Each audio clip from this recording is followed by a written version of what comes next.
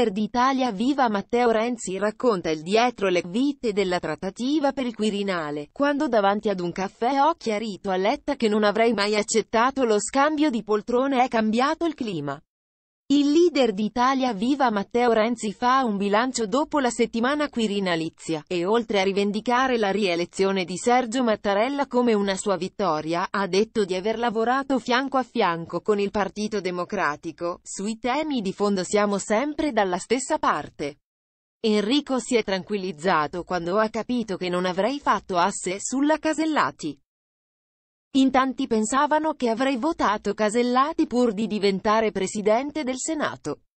Ma io mi chiamo Matteo Renzi, combatto contro tutte le mie idee, non per un tornaconto personale. Quando davanti ad un caffè ho chiarito a Letta che non avrei mai accettato lo scambio di poltrone è cambiato il clima. E abbiamo lavorato meglio, ha raccontato il leader d'Italia Viva, in una intervista al Corriere della Sera, in merito all'ipotesi di un sostegno del suo partito alla candidatura di Elisabetta Casellati, in cambio di una poltrona di primo piano come quella della seconda carica dello Stato. La circostanza è stata confermata anche da Giuseppe Provenzano, vice segretario del PD. In questo passaggio del Quirinale la sintonia con Italia Viva è stata forte, in particolare c'era la preoccupazione che ci fosse un asse tra Renzi e il centrodestra per l'elezione della Casellati. Invece non c'è stato e questo l'ho molto apprezzato, ha detto a Rai News 24.